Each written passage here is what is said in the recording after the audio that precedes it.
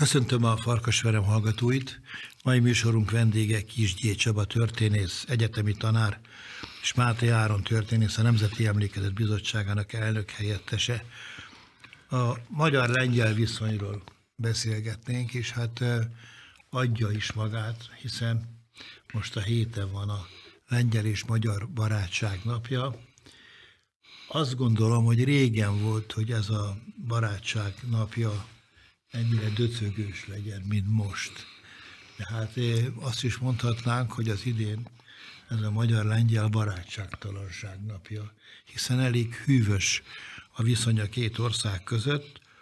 Ez most egy múló rosszul lét, vagy hosszú távú következményekkel jár.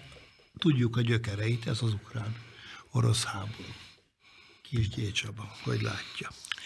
Hát én úgy látom, hogy azért a barátságnak sokkal mélyebb gyökerei vannak. Hadd hozzak egy közeli példát.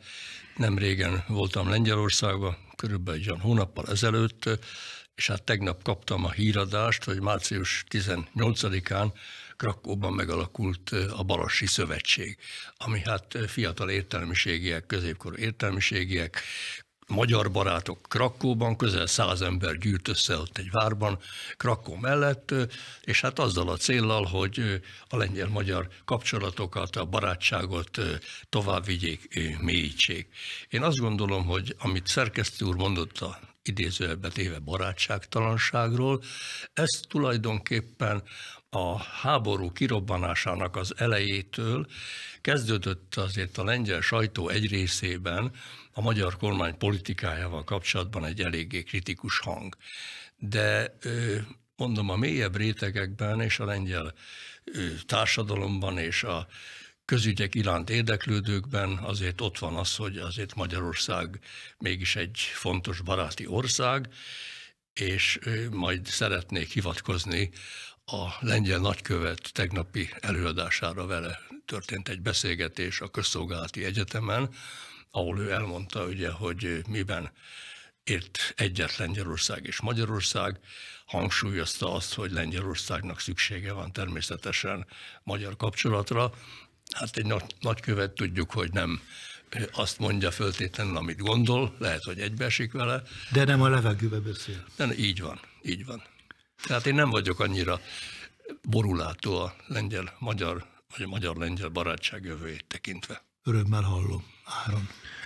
A magyar-lengyel barátságban a közhiedelemmel ellentétben voltak töréspontok, de talán a legcsodálatosabb az egészben az, hogy valahogy ezeket követően mindig egymásra talált a két nemzet.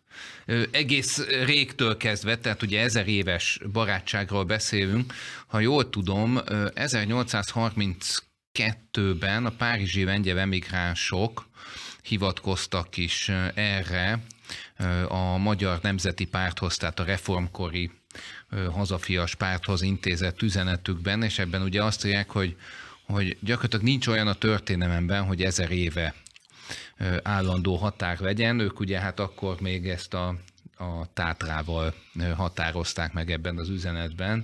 Tehát ugye Tátra jelenti a határt ezer éve, vagy hát 900 éve Magyarország és Lengyelország között. A, a törések a 20. században inkább nem a két ország egymással szembeni ellentétéből adódtak, mert ilyen nem volt. Tehát ezt azért mondjuk ki, hogy sőt, mondhatjuk, hogy most már 200 éve, vagy talán 300 éve ilyen különösebb ellentét nem volt, talán, talán második Rákóczi György volt az utolsó, akinél ott voltak azért elég kellemetlen pillanatok. A, a 20. században az, az jelentette rendre a, a kéznyújtás felé a nehézséget, hogy ellentétes oldalon foglaltunk helyet a 20. század elejétől kezdve a nagyhatalmi rendszerekben. Tehát ugye a lengyeleknek 1918-1920 az a nagy nemzeti újjászületés, a nagy diadal órája. De na most egy helyen hát vagyunk. Ne, nekünk pedig ugye maga a, a feneketlen tragédia. Na most csak még egyet engedjetek meg, ezt szeretném felolvasni, hogy Nyári Albert Báró, ugye a magyar Lengyel Egyesület alapítója, nagyon komoly munkát fejtett ki a lengyel ügy érdekében az első világháború éveiben. Ő ezt írta az Egyesület létrehozásának 20 éves évfordulóján. A mi törekvésünk az volt, hogy ápoljuk ezt a régi drága tradíciót, hogy munkásságunkkal szolgáljuk Magyarországnak és Lengyelországnak az érdekeit egyaránt, hogy évesszük a két nemzet közötti szeretet vágját. Egykor perzselő napfényt árasztott ez, máskor robogó szövétnek volt, ma pisrogó mécses talán, de felroboghat holnap újra, és a sors úgy hozhatja, hogy ennek a fényénél találhatjuk meg az ösvényt, amely kivezet, a mostani feneketően sötét éjszakából. Mi nem engedjük kialudni ezt a lángot. Egyébként ezt a kormány szóvivő asszony tette ki a közösségi oldalon. Akkor ámen. Itt ez, abba is, abba is hagyhaták, mert ezzel gyakorlatilag elmondtuk a, nagyon, a lényeget. Nagyon szép volt ez az idézet, és valóban Jári Albertnek nagyon sok értékes tevékenysége élesztette és, és élőnek tartotta ezt a lángot. Azért egy pillanatra talán vissza lehet tekinteni a kapcsolatok és a barátságnak a forrásvidékére. Én a forrásvidéket ott látom, hogy ugye a két ország, a két nemzet egy időben vette fel a kereszténységet, és egy nagyon hasonló geopolitikai helyzetben volt a középkor évszázadaiban, tehát ugye keleti hódítókkal szembeni védekezés, ugye az Antemurale Christianitatisnak a toposza, ugye a kereszténység védőbástyája, ez mind a két országra érvényes volt. És hát talán érdemes fölidézni, ugye több középkori krónikában szerepel a Szent Korona küldése, ugye, hogy amit tulajdonképpen a pápa a lengyeleknek szánt, ám mégis úgy döntött valami álom hatására, hogy a magyaroknak adja, és akkor a krónika megjegyzi azt, hogy ugyanakkor a pápa a két küldöttséget magához hívta, és elmondta nekik, hogy ezokból már, mint hogy a koronát a magyarok kapták meg, nehogy ellentét és viszály legyen a két nemzet között. Tehát ez volt az üzenete egy középkorból. Mellesleg ez a kereszténység védőbástyái megfogalmazás talán most is érvényes. Hát bizonyos értelemben, bizonyos értelemben igen. Nos, hát aztán későbbi évszázadokban természetesen ugye különböző volt Lengyelország pozíciója, ugye, amikor területi, regionális felosztottság volt, illetve hát Magyarországnak a helyzete a törökdúlás idején, de hát akkor is nagyon élénk volt ez a kapcsolat, és valóban a lengyelek is és a magyarok is ezt a több évszázados, akár ezer éves közös határ gondolata, ez nagyon, nagyon erős volt. Ott azért át lehetett jönni, átjöhettek ugye a kereskedők, átjöhettek ugye a királyfia, királylányok, és hát megalapozták ezt a kapcsolatot, de igazából azért voltak itt mélypontok is, ugye Mátyás királynak volt egy lengyel kihívója, ugye szegény Janus Pannoniusnak el kellett egészen Zágráb mellé menekülnie, mert ugye a király elleni összeesküvés része volt, és hát amit Máté Áron említett az előbb, az egyik újabbkori mélypontja, ugye az a második Rákóczi Györgynek a kísérlete, hogy ő lengyel király lehessen, ugye voltak lengyel pártfogó is, de hát ez egy nagyon, nagyon negatívul sikerült vállalkozás volt a 17. században. Egyébként Erdélynek is ez egy mély döfést adott ez a, ez a, ez a szerencsétlen háború, és hát a 20. században valóban úgy fordult, ahogy Máté Áron nagyon pontosan megfogalmazta, hogy olyan szövetségi rendszerekbe kerültünk, amelyik ugye más oldalon találta a lengyeleket és a magyarokat. És hát igazából azért a 19. század pecsételte meg és tette ezt a kapcsolatot, a barátságot egyfajta közös emlékezet részé, hiszen Lengyelországot úgy tartotta a lengyel szabadságharcok idején a magyar közvélemény, hogy bennünket véd az orosz hódítással szemben. Tehát egyfajta védőfalnak érzékelte a reformkor, ugye hát az 1832-36-os országgyűlés, annak nagy visszhangja volt Lengyelországban, hogy a magyar megyék az uralkodóhoz intéztek egy feliratot, hogy Lengyelország támogatása érdekében. Tehát, így. Hogy? Hát, hogy Magyarország védi az orosz hódítástól Lengyelországot. Vagy Lengyelország védi Magyarországot az orosz hódítástól. Hát szerintem azért itt még nem tartunk, azért itt még nem tartunk, meg ez azért egy teljesen másik helyzet. Én itt a 20. században egy pillanatra még megállnék, mert tényleg föl lehet hozni ezeket a régi történeteket, ugye Mátyás király, a boroszlói, nagy, izgalmas összecsapás sorozata, ahol a huszárság egyik korai bemutatkozása volt. Hadd vessem közben, ne haragudjék, hogy, hogy ezt most közbevettem. Most született meg talán egy hete körülbelül, vagy néhány, vagy tíz napja Mátyás királynak egy emlékműve Boroszlóban, Wrocławban. Igen akkor, akkor lehetne ezt a Rákóczi Györgyös ö, ö, iszonyatos kalandor politikát is. Itt ugye a lengyelek azért nem maradtak adósak. Lubomirski marsal borzalmas pusztítást végzett a felvidéken. Ugye ő volt a szepességi kapitány, amiket még Zsigmond zálogosított el Lengyelországnak, a 13 szepességi város vezetője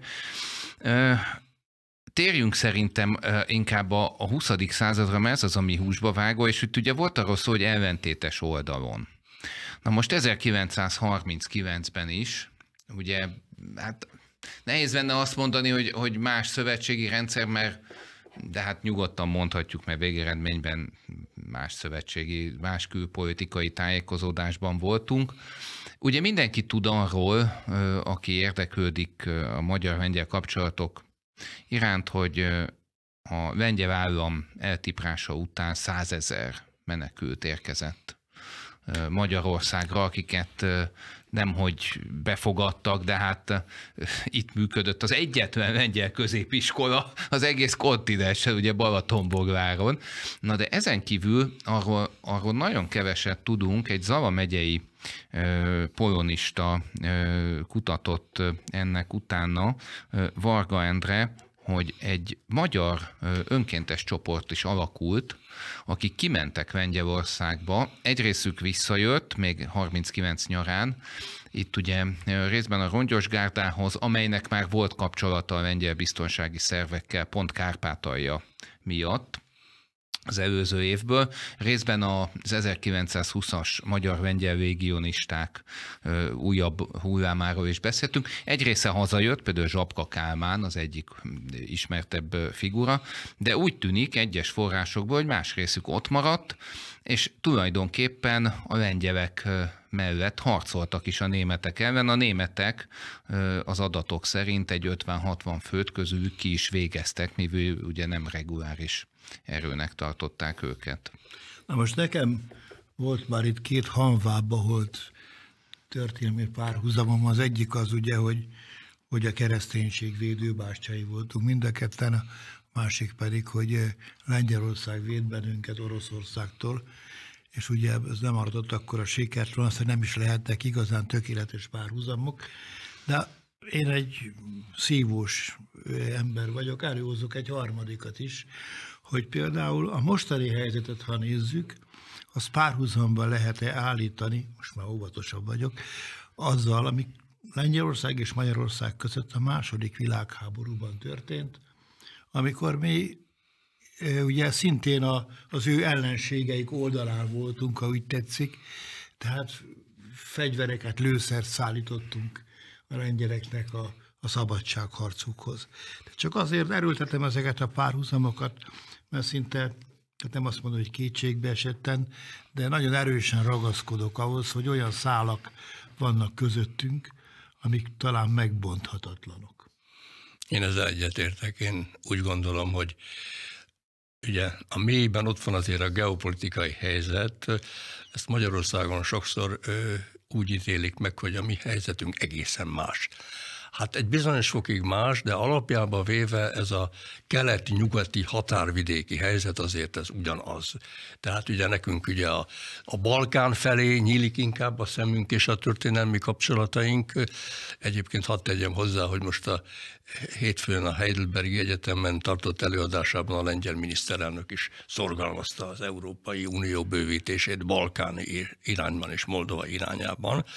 Tehát én azt gondolom, hogy a geopolitikai helyzet, ez a kulturális, mentális azonosság, ami hát ugye keresztény tradíciókat jelenti, egyáltalán a, a túlélési képességeinket minden nehéz helyzetben azért megpróbáltuk a túlélést, és ez azért sikerült. Ugye hát a lengyeleknek tényleg borzalmas volt a második világháború, nekünk is, csak hát a második világháború kitörése, ugye hát az Lengyelországot érintette, hát ott kezdődött Egyébként itt hadd had, tegyem közbe, hadd mondjam el, hogy azért nálunk nem nagyon ismerik a, az orosz propagandát. Én nem régen láttam egy kis filmet, aminek az a címe, hogy Lengyelország Európa hiénája. Ez egy orosz, orosz propagandafilm. Nem aprózták el magukat. Nem, ők úgy fogalmaztak ebben a propagandafilmben, hogy tulajdonképpen a második világháború kirobbantásáért és Lengyelország felelős, hiszen ugye 1934-ben Lengyelország kötött az akkori német birodalommal egy megállapodást, mint hogyha megfelelkeztek volna arról, hogy 1939-ben viszont ugye hát a Ribbentrop-Molotov péle paktum alapozta meg a második világháború kezdetét, és Lengyelország, illetve az egész kelet-közép-európai térség felosztását, ugye a két birodalom, a náci és a szovjet között. Tehát ez mind, mind hozzátartozik ugye az emlékezetben, és 1956-ot is kiemelném ilyen szempontból. 1848-ban is. 1848 természetesen, hát ugye az itt harcoló lengyel legionáriusok, ugye Kovács István barátom fölkutatta mindegyiknek az életpályáját is, de ez a szabadságharcos hagyomány, és itt rímel egymásra 48 és 56, és ugye ne feledkezzünk erről, hogy lengyel identitásban nagyon erős volt 1956. Én a 60-as évek, ugye az autóstoppos utazások idején jártam először Lengyelországba, és mindenki azt kérdezte, 1956-ról kellett mesélni.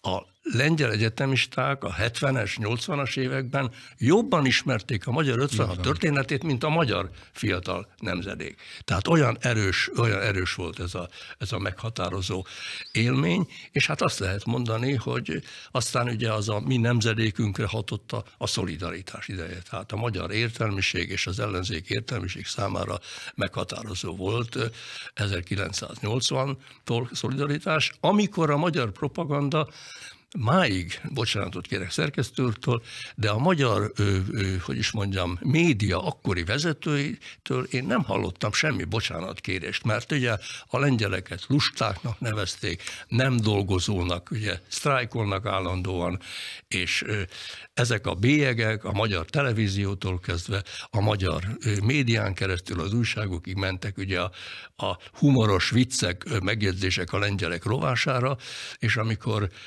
bevezették a hadiállapotot 1981. december 13-án, állítólag a TV híradóban én nem néztem tévét, akkor sem, most se, akkor ugye végre mondta valamelyik riporter, vagy valamelyik újságíró, hogy végre megtörtént ez, hogy hát ezt a borzalmas állapotot, a szolidaritásnak a szabadság mozgalmát sikerült letörni. Csak úgy zárójelbe jegyzem meg, hogy mélységes egyetértek ezzel a helyzetelemzéssel. Tehát az, hogy én újságíró vagyok, az nem tart vissza a tojlásra a valóságot. Igen, szerintem nagyon fontos kimondanunk, ahogyan 1968-ban sem mi magyarok tartoztunk bocsánat, vagy 1968-ért valamiféle bocsánat kérése a csehek Tóth atyafiak felé, hanem a magyar néphadsereg és annak irányítói, a kommunista párt. Na most ugyanez igaz a sajtóra is, ez ugyanaz a társaság volt, amelyik 89-től kezdve üzemszerűen működött a magyar nemzeti érdek ellen. Tehát ezt, ezt, ezt, ezt mondjuk azt, hogy a magyarországi kollaborás sajtónak egy jelentős része. Nem Itt... akarom tovább szaggatni a sebeket, de én föl tudnám sorolni név szerint. Én is. Én azokat, is. akik ezt a tüzet szították. Mi ezt megnézegettük, és azt a furcsa helyzetet találtuk, nagyon ügyesen ki, ki volt ez gondolva, hogy a fősodratú, az úgymond hivatalos sajtóban népszabadság, mit tudom, a magyar hírlap is volt már akkor, gyakorlatilag a legszikárabb, legtényszerűbb tudósítások voltak. A másodvonal Rádió Kabaré, Ludas Matyi, és, és ezekben ott viszont folyamatosan mentek. A Népszabadság lengyelországi tudósítója és gyalázatos munkát végzett. Én ezt, én ezt annyiban nem kívánom az illetőt megvédeni, sem a tévériportereket, mi végignéztük azokat a népszabadság számokat, és, és én ott inkább egy kis szorongást éreztem, hogy hirtelen eszükbe jutott 56. Nem, nem, véd, tehát nem, nem védem, mondom, ez ügyesen ki volt találva, hogy a hivatalos rész az ugye mégis egy baráti ország, a nem hivatalos. Na most arra, hogy hogy a magyar és a lengyel hogyan látja a világot. Tehát azt hiszem Zsindej Ferenc beügyi államtitkár volt ugye a második világháború éveiben, írja azt, hogy érkezik... Miniszter, miniszter is volt, nagyon jók a visszaemlékezése, kitűnő. Nemrég a Szekér Nóra adta, vagy hát ő szerkesztette sajtó alá. Meg is fogjuk hívni. Igen, Érdemes. és ő, ő írja azt, hogy érkezik egy szerb küldöttség Budapestre, és hát ugye csodálkozva néznek körül, gyakorlatilag Párizsként értelmezik a látottakat, és akkor, hogy nem is olyan rossz hivatal a Balkán fejének lenni. Magyarország tulajdonképpen egy dugó, ami vezárja a Balkánt. Így, így írja meg, hogy az Árpád háziak is ugye a Balkánon kereskedtek. Tehát én úgy határoznám meg, hogy a magyar stratégiai térváltás, persze Bécs az egyik ilyen viszonyítási pont, meg a német világ, de amerre kinyílik a tér, az, az, az, az a Balkán volt mindig is. A lengyeleknek viszont nekik is fontos volt a, ez a Hanza térség, tehát német kereskedővárosok, svédek, tánok, de valójában nekik amerre kinyílik a tér, az a nagy keleti erdős, vigetes, dimbes, dombos cseppvidék. Tehát nekik, nekik az, az a világ. Nekik más, az a világ. Más a látószög, igen. Tehát teljesen más irányba, és ezért megjegyzem, egyáltalán nem baj, hiszen így érdekellentét még csak véletlenül sem fordulhatott elő. Kiegészíti szerintem ez a két látószög kelet-közép-európát tekintve kiegészíti, kiegészíti egymást. Most nem tudom, hogy szabad-e ugranom, mert tegnap Igen. érdekes volt nagyon az előadása a lengyel nagykövetnek a közszolgálati egyetemen. Hát, hogyha ebből, hogyha ha megengedik, ebből néhány gondolatot idéznék, Sebastian Kentyek, azt hiszem körülbelül egy éve a nagykövet lengyel köztársaságnak, ő kérem szépen, ugye ő nagyon határozottan mondta, hogy hát Putyin imperialista törekvéseiről is van szó, és ő, tulajdonképpen kicsit különböző a magyar és a lengyel álláspont, a kormány álláspontja, de ugyanakkor azért stratégiai tekintetben van van közös pont. Ő egy színuszgörbéhez hasonlította a magyar-lengyel kapcsolatot, tehát mindig egy kicsit hullámzik, de itt azért az egész régió tekintve a közös érdekek a meghatározóak. És hát ő, ő fölvetette még azt, hogy ugye Magyarország energia politikáját tekintve látja a törekvéseket, hogy diversifikálni akarjuk az erőforrásokat, együttműködést ajánlott föl, ugye a Gdanszki öbölben ugye készül, és ugye ők megvalósítottak egy komoly a balti szálon érkező földgáz közvetítést, és összeköttetést, és hát, hogy ebben föl is ajánlotta, hogy itt a beruházásokban esetleg Magyarország részt vehet. Tehát mindenképpen úgy font, fontosnak tartja Lengyelország és Magyarország politikai együtt működését, és talán egyik utolsó gondolat az volt, hogy várjuk az új nyitást, tehát a színusz görbének ismét a, a jó irányba történő változását. Annyit ehhez hadd tegyek hozzá, mert amikor még a század végnél dolgoztam, akkor ebbe úgy bele-bele pillanthattam, hogy már akkor a magyar kormány kétségbe esettem próbálta a gáz függőséget legalábbis lazítani. Tehát én emlékszem, hogy 2013-ban már elkészült a magyar-szlovák vezetékrendszert összekötő interkonnektor, a szlovákot és a lengyelt összekötő az azt hiszem viszont csak tavaly vagy tavaly előtt készült el.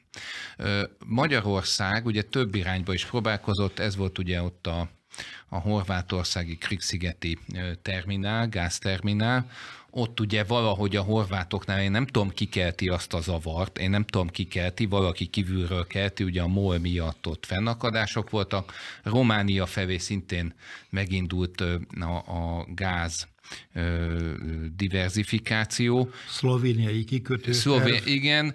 Na most a románoknál ott szintén nem tudom, kikelti, vagy, vagy hogyan volt ott a zavarkeltés.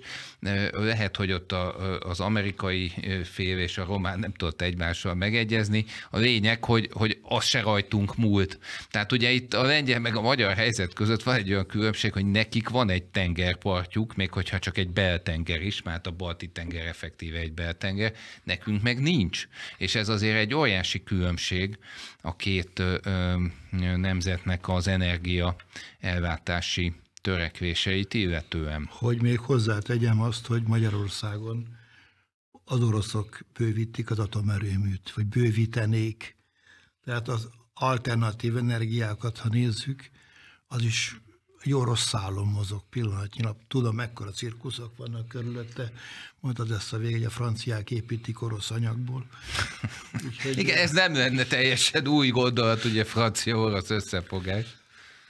Szóval azt akarom csak mondani, hogy, hogy sokféle megoldás rajzolódik ki, de egyébként most hát mindenben van fagyva, azt is mondhatjuk.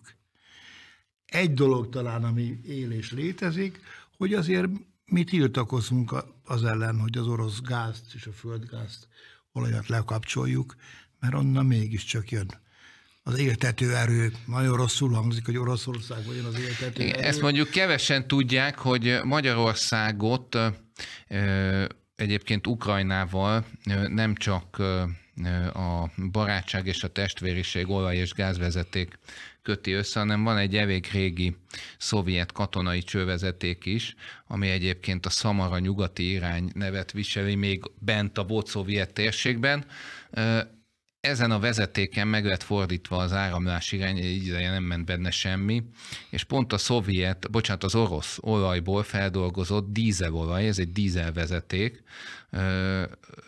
Ukrajnába ment ezen keresztül az egész elmúlt évben. Tehát szerencsétlenek megnézhették volna magukat, hogyha tényleg lekapcsoljuk a, az orosz olaj feldolgozását. Hova vezet ez az egész Magyarország és Lengyelország szempontjából? Az egyik út az, hogy Lengyelország megerősíti a pozícióját, hogy teljes egészében az Atlanti Védelmi Rendszer tagja legyen, vagy oszlopos tagja, inkább így van tagja most is. Magyarország pedig hát egy ilyen külön, külön utas, oldalazó pozíciót foglal el, ami, ami egyrészt azt mondhatjuk, hogy gyengíti a, a magyar helyzetet, a magyarok világpolitikai helyzetét, de azt is mondhatjuk, hogy eddig minden egyoldalú, föltétlen és hűséges elkötelezettségre hát ráfáztunk, hogy, hogy ezt a kifejezést használjuk. Hát én azért hozzátenném azt, hogy nem tudnám ezt alaposan érvkészlettel megindokolni, már amit az előbb itt szerkesztő úr mondott, de ne feledkezzünk el arról, hogy más azért a súlya Lengyelországnak és Magyarországnak. Tehát a mai nemzetközi politikai, biztonságpolitikai tekintetben. Tehát nem lehet szimmetriaként, ugye a lengyel-magyar barátság, ugye ez egyik oldalról, másik oldalról is létező hagyományokról már beszéltünk. És szimmetrikus. De aszimmetrikus. De ugyanakkor a két országnak, mondom, a geopolitikai, biztonságpolitikai, gazdasági helyzete, piac nagysága, stb. az nem szimmetrikus. Na most én ehhez itt nagyon, szerintem egy nagyon fontos dolgot pendítettünk meg. A lengyel nemzeti tudatban abból, abból nem veszett ki a nagyság gondolata. Tehát ők úgy tekintenek magukra, mint egy nagy nemzetre. A magyarok, és most nem a Kovács Lászlói értelemben, hogy merjünk kicsi, kicsi lenni, hanem a realitásokat nézve mi egy kis lélekszámú és területre is egy kis ország vagyunk. Persze nincsenek kis népek, tudjuk, na de most, hogyha így az arányokat nézzük.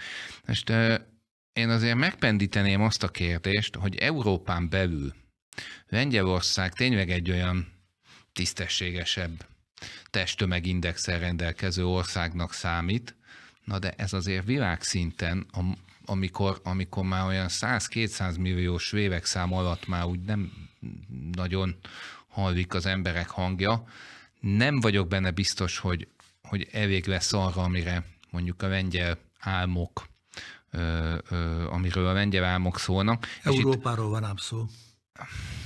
Ö, még egy, még egy dolgot hadd tegyek hozzá, ez a nagyhatalmi konstellációval is összeáll. Tehát onnantól kezdve, hogy Lengyelország győztesként fejezett be két világháborút, az ő nacionalizmusokra mindegyik nagyhatalom valamilyen módon igényt tartott. A magyar nacionalizmusra, hát most persze itt nem akarok hamut szórni a fejünkre, egyedül Németország tartott, de úgy, hogy jobb híján meg igazából rüheltek minket, és akkor is csak egy rövid ideig. Már nem rühellés volt rövid ideig tartó. A rühelés az hosszabb ideig tartó Az volt, az meg olyan kitartó. elméleti, meg zsigerés, a, akkor, tehát ez ugye a, a, a, a német birodalom idején, és ez egy jelentős különbség. A magyar emberben mindig ott van a fék, hogy nem szabad, amikor politikáról van szó, nemzetközi viszonyrendszerről. Nem szabad ezért, nem szabad azért. A lengyel emberben nincsen ott ilyen fék. Na most uh, én úgy érzem, hogy a mostani magyar politikában... Mondom ezt irítséggel, teszem hozzá. hogy a mostani magyar politikában nem érzem ezt a féket. Tehát egy bátor politika a magyar, és hát ezért szívja is sok mindenki a fogát, főleg a határokon túlról. Másrészt pedig teljesen igaz, amit mondasz, hogy mondtok, a két ország súlyát illetően, de egyrészt tudjuk jól, egy csomó magyar él a határokon túl is, tehát azért az egy parciális tömeget jelenthet, de még inkább az, hogy Magyarország az utóbbi, mondjuk így tíz évben egyre jobb kapcsolatokat épít ki a szomszédaival. Tehát ilyen szempontból Magyarország a közép-európai hatalmi rendszernek egy fontos tényezője. Most már hál' Istennek a szerbekkel, és jó a viszony a horvátokkal ott ugye most feszült, majd talán kisimul. Szlovénekkel attól függően, hogy ki a kormány, ki van a kormányon, a szlovákokkal is, de összességében azt mondhatjuk, hogy talán sose volt ilyen jó a viszonyunk a szomszédokkal, mint most. Ez ad egy különös súlyt Magyarországnak. Egyébként eleve attól a pillanattól kezdve, hogy megszűnt ugye a második csehszlovák állam, megszűnt a második jugoszláv állam, a viszonylagos pozíciónk azért az kedvezőbb lett, tehát a geopolitikai Sokkal, pozíciónk sokkal az kedvezőbb, kedvezőbb. lett. Más nem hát- mondjak, bocsánat, hogy közbevágok, Pont. Ukrajnán kívül mindegyik országnak, országnál nagyobb a lélekszám. Hát mondjuk kivéve még Romániát, tehát azért... Románia összeomlóban van olyan szempontból, hogy kivándorlás nagyon erős. Hát sajnos A romanokat én nem temetném, azért Jó, majd átállnak, tudjuk, majd népség. Nem, átállnak nem, nem, földre. ne így mondjuk Csaba, nem, szóval az, azért, azért bennük van a nemzeti ösztön politikája. Én csak ennyit akarok. hát meg ugye sajnos a demográfiai következmények azok nagyon erősen érintették az erdélyi magyarságot. Hát Sajnos, tudjuk. igen. Bocsánat, közbevágtam az előtt. Nem, én csak azt hangsúlyoztam, hogy a viszonylagos geopolitikai súlyunk az növekedett tényleg itt az elmúlt, el, elmúlt 30 évben, és én is úgy érzem, hogy sok minden történt pozitív itt a szomszédokkal kapcsolatos viszonyt illetően. Tényleg Szlovénia, Ausztria, még Szlovákia is egy nagyon változó ott a politikai helyzet, de nem, nem, nem a legrosszabb kapcsolat, és hát megjavult a szerbekkel. Én a horvát kapcsolatot se érzem annyira rossznak, ugye kicsit különbözik a horvát miniszterelnök és horvát elnöknek a viszonya Magyarországhoz, de Már én... egymáshoz képest. És Egyébként most is beszélve- van egy, egy birodalmi párt Horvátországban, és egy magyarón párt, hogyha szabad így ilyen régiesen Hát, hát, az- fogalmazni. Tudom, túlzás, túlzás. Igen, igen, de mindenképpen én úgy érzem, hogy én most a héten jártam Horvátországba, hogy nem lehet azt mondani, hogy annyira, annyira rossz lenne, és a horvát közvéleménybe is azért a háború óta, a délszláv háború óta azért Magyarországra másképpen néznek. Vannak-e olyan geopolitikai érdekek, bár most az ukrán orosz háború mindent eltakart, mindent fölülír, amelyik érdekek abban azon dolgoznának, hogy eltávolítsák egymástól Magyarországot és Lengyelországot, hiszen most beszélgethetünk arról, hogy Magyarország ereje mekkora és mekkora sem, de hogy hát azért mégiscsak együtt egy jelentősebb geopolitikai tényezők lehetnénk. Hát én úgy gondolom, hogy az orosz politikában bizonyára van, az orosz politikának csak ugye a propaganda szintjét is ismeri az ember, nem tudunk igazából, de hát az biztos, hogy egy érdek, hogy mondjuk a térség összefogása az kisebb legyen, de én ezt látom néha nyugatról is, tehát a nyugati világból is. Ugye hát a, a visegrádi négyek helyzetéről hosszasan lehetne beszélni. Én mindenképpen egy alapvető lehetőségnek tartom Magyarország számára is, hogy egész az Európai Unióban, egész Európában és a nemzetközi szinten ez az együttműködés megerősödjön, és tudjuk, hogy ez most, ez most azért valamennyire meggyöngült. Tehát ez mindenképpen néha úgy látszik, hogy nem szeretik ezt mondjuk se az orosz politikai propagandában, hogy ez az együttműködés erősebb lenne, és néha úgy érzem, hogy a nyugat-európai média és politikai visszhang se mindig kedvező a visegrádi négyeket illetően, és nagyon szívesen próbálják így az ellentéteket az egyes országok között, visegrádi országok között szítani. Hát azért professzor nagyon finoman fogalmaztál, tehát más regionális együttműködések nem zavarták az Európai Unió nagyhatalmú urait, sem a Benelux, sem ugye a Nordikus tanács, sem a többi. Valamiért a visegrádi négyek mindig céltábla, céltábla voltak, már maga az együttműködés, már ez önmagában felháborító volt a számukra. Azt hiszem, hogy az egyik holland lap fogalmazott úgy még 2016-17 környékén, hogy a nyugat-európai politikusok úgy próbálnak bánni a közép-európaiakkal, mint a tanárok a csintalan iskolás gyerekekkel. Rosszul teszik, az európai vévek letéteményese ugyanis ma Közép-Európa. Ezt írta egy hollandra. A, a Volkskrant volt, tehát nem egy ilyen zug vagy, vagy ilyen radikális. Most az, hogy ki akar itt éket verni, én szerintem mindenki. Tehát egyetlen nagyhatalomnak se érdeke a nemzetek összefogása. Meg Egyszerűen vagyok, nem érdeke. Nyugodva. Tehát ö, ö, ezt, ezt, ezt lássuk be, én persze a nagyhatalmi politika az néha lehet rossz, néha rosszabb, van olyan is, amikor kivételesen szerencsés fordulatokat hoz egy-egy nemzet életébe, de tehát azért a nagyhatalmi politika az nem arról szól, az nem egy szeretett szolgálat. Tehát az nem arról szól, hogy a kis nemzeteknek jó legyen. Legalábbis ebben a formában érkezik, hogy szeretett szolgálat. Igen, hát én sokat utaztam országaink között, mégpedig vasúttal, és az mindig megdöbbentett, nem régen, nem régen Krakóba jöttem vissza, meg Zágrábból, hogy az észak-déli közlekedési folyosóknak az állapota. Szörnyű. Ez a közutakat, közutakat is illeti, Így van. és a vasutat is illeti.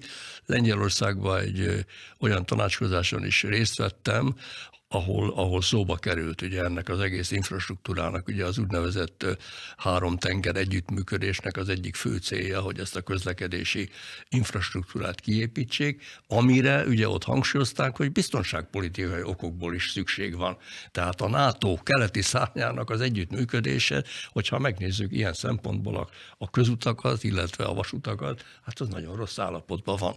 Az elképesztő, hogy Bécsbe ugye naponta kilenc vonattal lehet elutazni, utazni, Zágrában meg mondjuk csak egyel vagy Krakóba ugyanígy. Tehát ebbe 30 éves lemaradás van, mert ugye a kelet-nyugati kereskedelmi, meg egyéb okokból ugye az, azok viszonylag jók Lengyelországból is, Magyarországból is, észak-déli viszont nem. Tehát itt óriási közös mulasztások is vannak, és hát ezt valóban a nyugat-európai tekintet, az valóban a tanítóbácsinak a szeme volt, és azt ugye nagyon hajlamosak voltunk ugye oda nézni, hogy a tanító bácsi mit mond. Szóval, hogyha belegondolunk, és, és el akarunk autózni, hát mondjuk egy szép, szép nagy útvállalás, Gdanskba, ugye Danska régiesen, ez, ez, ez, ez a régi magyar világban egy, egy komoly kereskedelmi ilyen átrakóhely volt, meg, meg célállomás.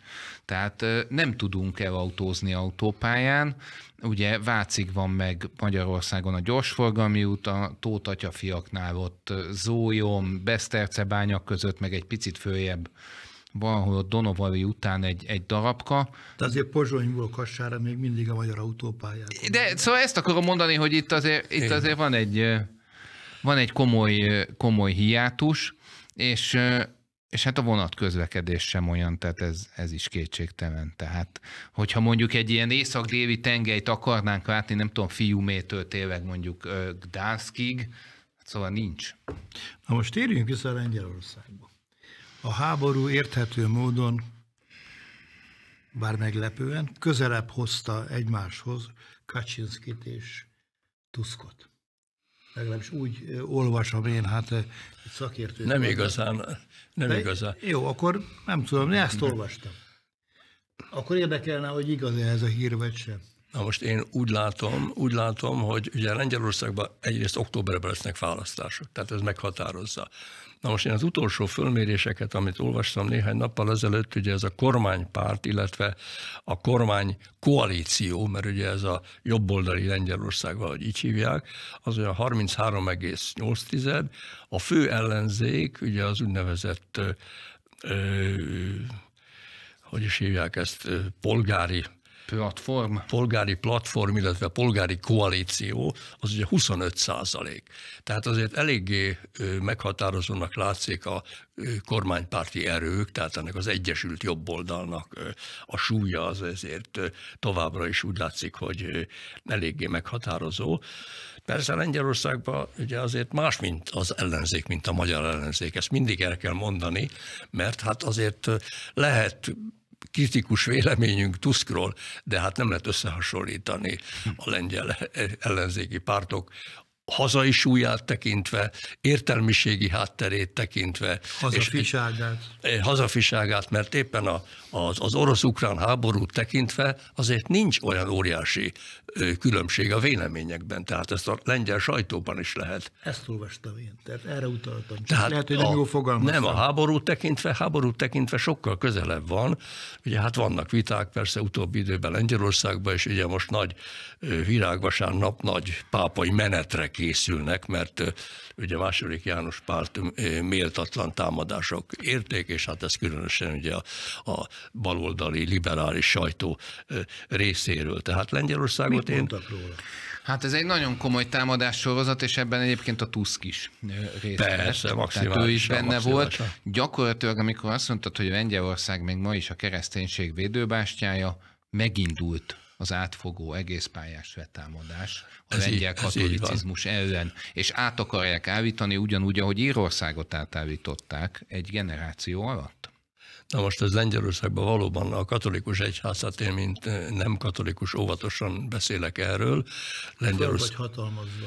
Lengyelországban Igen, itt most két református a katolikus, ül, ugye, katolik, a lengyel katolicizmusban van bizonyos válság, ugye belső vonalak is nagyon-nagyon szétterültek, tehát ugye a hagyományos krakói heti lap, ugye annak idején milyen fontos volt számunkra, az is egy egész egy ilyen furcsa ö, szélső liberális ö, húrokat penget, és hát ugye tényleg csökkent a vallási alkalmakon résztvevők száma, tehát ez úgy érezhető, hogy azért még mindig teli vannak azért vasárnap a templomokon, főmiséken, de hát azért, tehát valóban van egy ilyen, ilyen, ilyen probléma, de én azt gondolom, hogy azért a lengyel társadalomban van azért ezzel szembeni erő is. Hát kíváncsi vagyok, hogy, a viság, hogy ezen a virágvasárnapi pápa meneteken, így hívják ugye a pápa emlékének a támogatásait. Lehet, hogy a Tusk egy rossz kártyát húzott ki, mert azért második János Pálnak a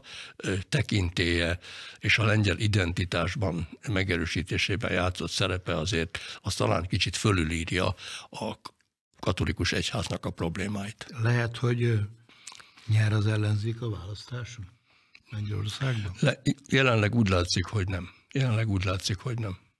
Az aztán felborítana mindent. Már a barátság tekintetében biztos nem. Na, Hát azért, azért, azért, azért van, tehát az az várj egy pillanat, mert ez egy, ez egy nagyon dupla fenőki mondat volt, és azt én megkérdezném ki Csabát, hogy miből gondolja. Hát én úgy gondolom, hogy egyrészt nagyon sok olyan értelmiségét ismerek, akik most inkább az ellenzék pártján vannak. Magyarországgal kapcsolatos barátságot igazából nem, nem, nem érinteni. Tehát ez nem egy, nem egy fő kérdés Tehát én nem hiszem azt, nem hiszem azt, hogyha Lengyelországban mondom, nincs sok esélye a mostani ellenzék venni át a hatalmat, hogy ez a magyar-lengyel kapcsolatokban, barátságokban egy olyan mély, hogy is mondjam, szakadékot jelentene. Áron. Kicsit pessimistább vagyok, az ottani ellenzék annyiból jelentősen hasonlít az ittenire, hogy mindent ideológiai alapon néz, méghozzá egy ilyen szélsőliberális, radikális baloldali ideológiai alapon, és innentől kezdve én nem vagyok benne biztos, hogy ők ezt, ezt úgy tudnák értelmezni, hogy, hogy lengyel-magyar barátság az jó, ha van, most attól függetlenül, hogy ki hol kormányoz, Szóval azért, azért 2010 után a, a mostani ellenzék volt ott sokáig kormányon, és azért valljuk be, hogy, hogy a Kaczynski kormányra, vagy hát irányító pozícióba való kerülésével változott meg, tehát az előtt, tehát nem azt mondom, hogy hűvös, de szóval jelentősen jelentősen melegedett a viszony. Ráadásul ne felejtsük el, hogy itt ez személyi kérdés is. Orbán Viktor magyar miniszterelnök jó barátságot ápol a mostani lengyel vezetése. Megjegyzem, hogy amikor a Balkáról beszéltünk, ugye nekünk van egy nagyon komoly sváger termékünk, amit, amit mindenki irigyel tőlünk, és ez pedig nem más, mint Orbán Viktor, ezt, ezt azért mondjuk ki. Tehát az ember bemegy egy kocsmába, vagy egy étterembe, Horvátországtól kezdve Bulgáriáig, magyar, akkor ott előbb-utóbb lesz valaki, aki megveregeti a vállát, hogy Orbán Viktor, sőt, azt mondanám, Aténig. Azt, azt mondod az előbb, hogy jó viszonyban van Kaczynski és Orbán. Igen. Én meg azt teszem mellé, hogy nagyon jó viszonyban van Tusk és Bajnai Gordon. Egyébként meg kell mondjam, hogy, hogy amikor talán 2010-es választások után azért Orbán Viktornak az első útja, hogyha jól emlékszem, Így van. Tuskhoz vezetett, ugye egy nagy tokai bor hordót vittek, és szóval Voltak régi kapcsolatok is. Tehát, tehát ez is egy ilyen többszínű, többszínű, többszínű, többszínű dolog természetesen, de mondom, én nem látom ezt a, tehát a lengyel ellenzék és, és a kormánypártok között, én nem látom a magyar-lengyel barátságban egy ilyen mély, mély különbséget. Na most akkor nézzünk bele a varázsgömbbe. Tehát hogy fog alakulni szerintetek a magyar-lengyel viszony, mik azok a pontok, amik, amik, amik változhatnak, amik fontosak? Áron. Hát ugye jósolni, bocsánat, azt hiszem Niels Bohr ezt pontosan úgy mondta, hogy a prognózis nagyon nehéz dolog, különösen, ha jövőre vonatkozik, és ugye történészként én nem annyira a jövővel, mint inkább a múlttal szoktam foglalkozni. Én, én annyit kockáztatnék meg, hogy a magyar-lengyel viszony a tehát hogyha nem változik különösebben, tehát most Isten bocsássa meg, ugyanilyen véres ketyegéssel, de lassan mászik előre az óra Ukrajnában, hogyha, hogyha ugyanígy marad a nemzetközi felállás, van egy ilyen támadás a lengyel kereszténység ellen, akkor olyan nagy változást én nem látnék, az teljesen más helyzetet hozna. Ugye az egyik lengyel nagykövet beszélt erről, hogy szükség esetén ők bemasíroznak Ukrajna nyugati felébe, hogyha kell, afféle ez a, ez a Párizsi, Párizsi aztán ez egy kicsit, kicsit a média ezt túlságosan fölnagyította, és aztán kiderült, hogy egy kicsit pontatlan is volt az idézet, emlékszem erre egyébként. Nem Jó, csak, nem, tehát, csak, tehát egy ilyen helyzet azért, azért, azért nagyon sok mindent megváltoztatna, de nem a magyar-lengyel viszonyban, hanem úgy az össznemzetközi viszonyrendszerben, amiből aztán hát minden országnak valahogy úgy kell kikecmeregnie, ahogyan a nemzeti érdekei diktálják. Szóval? Én nem látom, én, én, én azt remélem, hogy most ugye azért volt egy mély pont itt a háború első évében, én már most érzékelem azt, hogy, hogy vannak kinyújtott kezek, például a Felcsák intézet részéről, a Lengyel Nemzeti Emlékezet intézete részéről, tehát ez most csak így a saját területenem, de hát mindig a kultúra vonalán indul el igazán a mély és az első hullám. Nekem ez az érzésem. Hát ezzel az utolsó mondattal teljes mértékben egyetértek, és hát ezt kicsit ugye magunkra is vonatkoztatván, akik a kultúra, a tudományos kapcsolatok területén működnek, azoknak nagyon fontos feladatuk lesz. Én se látom egyébként, hogy, hogy ebben a varázsgömbben mit lehet látni. Nagy mértékben függ azért a háború kimenetelétől, hogy ez az orosz-ukrán háború miképpen jut valamilyen nyugvópontra, vagy egyáltalán, mert utána azért egy más helyzet kezdődik. Akár így, akár úgy fordul. Nem tudom elképzelni, hogy bármelyik nyerjen. Hogyha az ukránok nyernek, hát az azt jelenti, hogy, hogy a NATO nyer tulajdonképpen, ami nagyon éles helyzetet jelentene.